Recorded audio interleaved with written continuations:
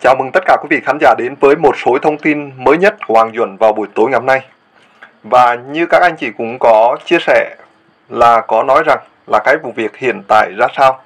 Thưa quý vị khán giả, hiện nay thì cái vấn đề Hoàng Duẩn đang cố gắng liên hệ về phía cái người cung cấp thông tin.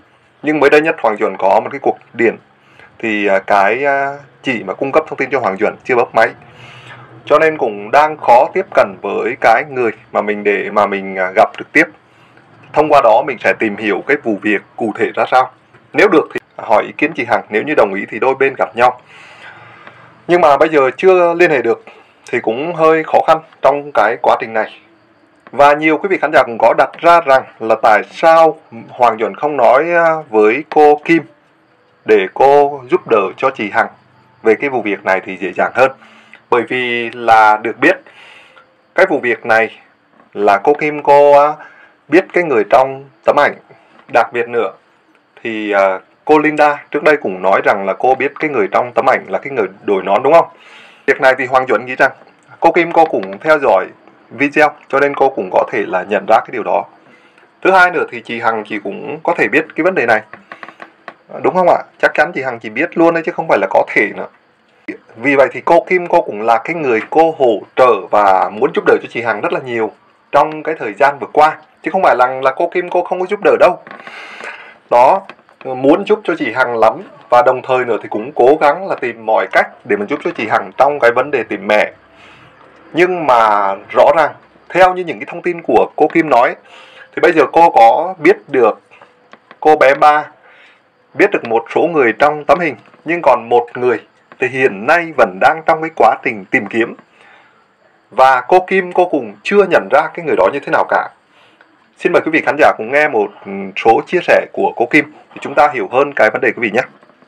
mấy xem về còn hình đó không? Tôi nói có Thì tại vì chị tôi ba biết bé ba mà. Cô mới nói, cô mới nói nè, giờ giờ có rồi, cô có thể tìm được không? Nếu cô không tìm được, coi như cô ra mặt để cô tìm bạn. Cô sẽ tìm tới nhà là ờ, chứng tỏ đây là bạn cũ. Qua những cái chia sẻ của cô Kim thì tất cả quý vị khán giả cùng có thể thấy rằng cái việc cô Kim cô cũng là cái người muốn giúp đỡ cho chị Hằng và đồng thời nữa thì là cái người đứng ra và cũng là tìm kiếm cho chị Hằng trong một cái quá trình rất là dài. À, xin thưa với quý vị khán giả, thì quý vị cũng có thể thấy rằng cái việc thông tin mà tìm mẹ thì cô Kim có phải biết chứ, chắc chắn phải biết chứ sao. À, và nếu như mà có cái vấn đề gì liên quan đến mẹ của chị Hằng? Hay là những cái người trong tấm ảnh là ai? Hay là còn thiếu ai chưa tìm được? Thì chắc chắn cô quan tâm và cô tìm kiếm thôi. Đúng không ạ? Chứ không phải rằng là cô không nỗ lực trong cái hành trình tìm kiếm đâu. Quý vị cũng nghe không ạ? Cô nói rằng là gì? Chỉ cần mà tìm kiếm được cho chị hằng là cô vui lắm rồi. Được ơn trên ban là cô mừng rồi. Đúng không ạ? Cho nên à, đó là một số cái chia sẻ với một số cái quý vị khán giả có hỏi à, cái vấn đề liên quan đến cô Kim rồi thì nhiều người đặt ra câu hỏi rằng, nhiều cái nguồn tin liên quan đến chị Hằng không biết cái nguồn nào đúng và cái nguồn nào sai. Thì chúng ta phải xử lý như thế nào trong cái trường hợp tìm mẹ nó rất là phức tạp của chị Hằng? Thì thưa quý vị khán giả dầu biết rằng là cái câu chuyện của chị Hằng là rất là phức tạp, nhưng chúng ta luôn có cái cơ hội để chúng ta tìm kiếm. Và tuy rằng là những cái lời của cô Kim, thì không hẳn là ai cũng tin những cái lời cô Kim nói, nhưng mà riêng em á, thì em nghĩ rằng là cô Kim nói đúng. Và em có cái linh cảm như vậy qua đó thì có những cái chứng cứ cụ thể để cho mình có cái niềm tin. Thứ nhất, cô Kim, cô khẳng định mình là cái người trong tấm ảnh. Thứ hai nữa, cô Kim là cái người cô có cái tấm ảnh đó và cô đang giữ ở nhà mình. Sau đó cô đưa cho chị Hằng. Thì đương nhiên cô là cái người trong cuộc, đúng không ạ? Không lẽ nào mà cô không biết?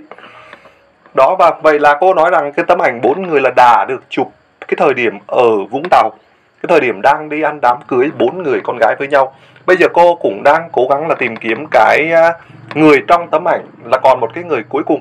Theo những thông tin hoàng chuẩn được biết là như vậy. Đó, thì nếu như mà tìm được cái người cuối cùng trong tấm ảnh thì tìm ra mẹ của chị hằng. Chúng ta mong muốn là như vậy và cô kim cô cũng nghĩ là như vậy. Cho nên hiện nay thì hoàng chuẩn nghĩ rằng chị hằng chỉ cũng muốn biết cái người cuối cùng ở trong tấm ảnh đó là ai còn một người nữa chưa tìm được. À, ngoài cái vấn đề chia sẻ thông tin, đồng thời là lan tỏa rộng rãi, hy vọng là nhận được cái thông tin từ nhiều nơi cung cấp đến, thì hoàng chuẩn nghĩ rằng không có cái cách nào tốt hơn. Và chỉ hy vọng sao? Chị Hằng chỉ may mắn trong cái hành trình tìm kiếm đó mà thôi, đúng không ạ? Chứ còn bây giờ nhiều người nói rằng là cái vấn đề tìm kiếm phải có cái thông tin cụ thể, thì bây giờ chúng ta muốn có cái thông tin cụ thể chúng ta cũng không thể nào mà có được trong cái thời điểm hiện tại. Vì sao? Vì những cái người báo tin thì thường thì người ta chỉ báo với cái mức độ mà họ biết. Có số thì người ta chỉ là mang tính chất là họ đứng dựa và họ báo tin. Mà mình muốn gặp thì mình phải kết nối qua người kia mình mới gặp được. Đó, nó phải có một cái phức tạp như vậy. Cho nên đôi khi có tin là nhận thôi. Còn người ta nói thì mình tôn trọng cái quyền của người ta trên cái quá trình mà người báo tin cho mình thì mình cũng tôn trọng cái tin thông tin của người ta đúng không ạ? À, vậy thì cái quá trình đó Hoàng Duẩn cũng có chia sẻ những cái trường hợp lên và cũng nhấn mạnh với quý vị khán giả tất cả các cái trường hợp nào mà nghi vấn mình cũng gửi cho chị Hằng xem xét.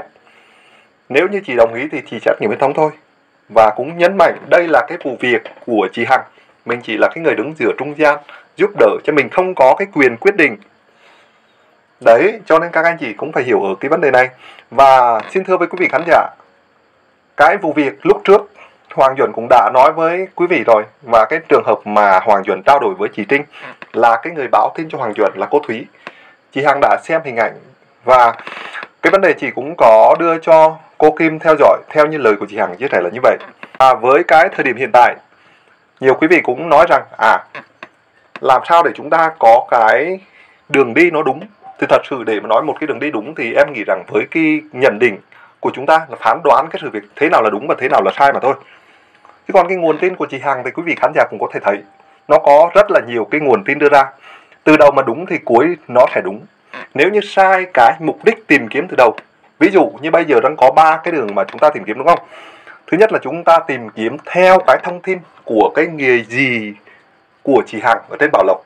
Cái người gì đó thì báo tin là gì? Là người mẹ là ở miền Tây vào thành phố Hồ Chí Minh để mà làm ăn. Người mẹ tên là Hạnh. Thì chúng ta cứ theo lối cô Hạnh chúng ta tìm kiếm. Vậy thì nếu như mà theo cái thông tin của ba chị Hằng thì chúng ta phải tìm cô Kim và cô Linda. Đúng không? Và nếu như theo cái nguồn tin trong ADN thể hiện thì chúng ta phải tìm cái người mẹ nguồn gốc ở Huế. Vậy thì để mà chắc chắn nhất thì Hoàng Duẩn nghĩ rằng chúng ta nên đánh rộng cái thông tin để chúng ta tìm kiếm. Qua đó, tất cả những người mẹ đã từng làm ở quán bar ở thành phố Hồ Chí Minh và có một cái người con và trao cho cô Xuân là bà chủ quán bar tên là Mộng ở thành phố Hồ Chí Minh. Là cứ lên tiếng thôi. Bất kể cái người mẹ ở đâu, nhưng mà miễn sao đã có làm ở thành phố Hồ Chí Minh và có cho một đứa trẻ, cho bà Xuân nuôi dưỡng. Bà Xuân là bà chủ quán bar. Thì chúng ta cứ ghi nhận cái thông tin đó. Chứ bây giờ bắt cho người ta là phải đúng cái địa chỉ là trước năm 1975 là phải bắt buộc là phải cái đường Nguyễn Văn Thoại bây giờ là đường Lý Thường Kiệt bắt buộc phải như vậy thì đôi khi người ta không nhớ được. Tại sao Hoàng chuẩn phải nói vấn đề này? Quý vị cứ nghĩ đi. Trên 50 năm thì làm sao người ta có thể là nhớ được tất cả các thông tin? Đúng không các anh chị? Đó, cho nên cái khó là khó ở cái chỗ là như vậy. Cho nên cái vấn đề quý vị đặt ra câu hỏi là làm sao để chúng ta biết được cái đường nào chúng ta tìm kiếm thì Hoàng chuẩn xin thưa rằng, cứ có cái thông tin người mẹ làm quán bar là cứ lên tiếng qua đó chúng ta phải tìm hiểu và đối chiếu cái thông tin. Đấy để cho chị Hằng chị xem xét và xin thưa với quý vị khán giả là những cái thông tin Hoàng Duẩn chia sẻ lên trên kênh. Thứ nhất với cái mục đích là chị Hằng chỉ theo dõi được cái, cái thông tin đó. Thứ hai nếu những cái trường hợp cái người mẹ đó mà không trùng với chị Hằng thì có thể là trùng với một cái trường hợp nào đó bất kỳ. Cho nên là cái mục đích thứ hai là giúp cho người ta có hai cái cơ hội. Một là kết nối với chị hằng hai là có thể một cái người con nào đó không phải chị hằng thì sẽ trúng với một cái người khác giúp cho gia đình người ta. Đó chứ không chỉ là một cái mũi tên đâu.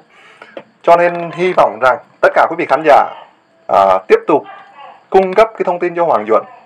Qua đó thì Hoàng Duẩn lấy tận dùng cái cơ hội đó chia sẻ thông tin giúp cho gia đình luôn. Và đến thời điểm hiện nay thì chúng ta phải khẳng định rằng chưa có bất kỳ một trùng trường hợp nào là trùng khớp mẹ con với chị Hằng cả. Cho nên quá trình này vẫn rất là cần cái sự chung tay của quý vị khán giả à, tiếp tục cung cấp thông tin giúp cho Hoàng Duẩn, giúp cho chị Hằng. Đó.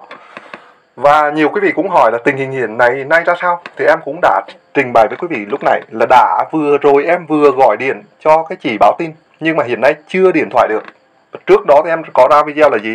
là chị nói rằng là sắp xếp thời gian rồi thì chị sẽ cho em gặp trực tiếp người nhà đấy và cái người nhà đó chính là nghi ngờ là anh em của chị Hằng cùng mẹ với chị Hằng vậy thì cái sự việc này sau khi mà ví dụ như gặp được người nhà như vậy Hoàng Duẩn sẽ xác minh một chút xíu và đồng thời chị Hằng đồng ý thì Hoàng Duẩn sẽ cho đôi bên gặp nhau nếu như chị Hằng đồng ý và quyết định là như vậy Ok, cũng chia sẻ một chút xíu như vậy để cho tất cả các anh chị hiểu rõ cái diễn biến sự việc hiện nay ra sao để cho chúng ta an tâm hơn về trong cái hành trình tìm kiếm.